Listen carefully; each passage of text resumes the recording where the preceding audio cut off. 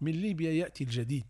هكذا أرسل الليبيون هذا المثل لما عايشوه من تقلبات سياسية في عهد القذافي.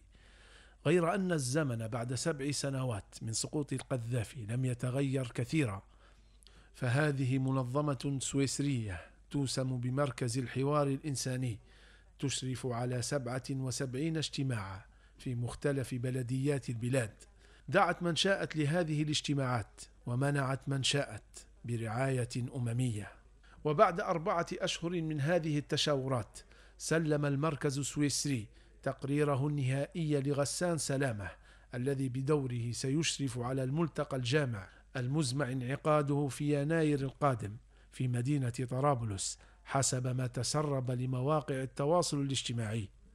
وسيكون هذا التقرير الذي سلمه مركز الحوار الإنساني وتوصياته منطلق هذا المؤتمر الجامع الذي تسعى من خلاله الأمم المتحدة حسب توصيات المسار التشاوري إلى إنشاء ميثاق وطني يراه كثير من المراقبين اختراعا جديدا يحل محل الدستور.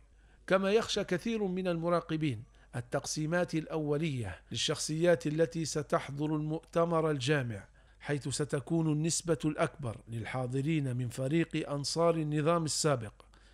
بينما سيكون تيار فبراير مقسوما بين معارضي ما يسمى الكرامة وأنصارها.